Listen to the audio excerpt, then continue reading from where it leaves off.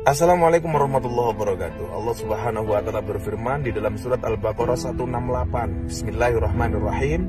Ya ayyuhan nas kulu mimma fil ardi halalan thayyibah.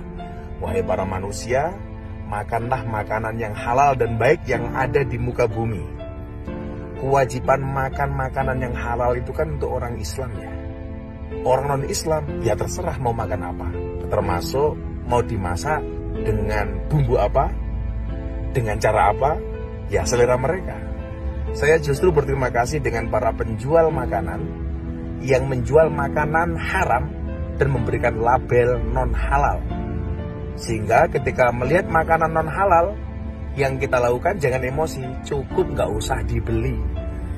Selesai. Eh, ngomong-ngomong, sejak kapan ya rendang punya agama?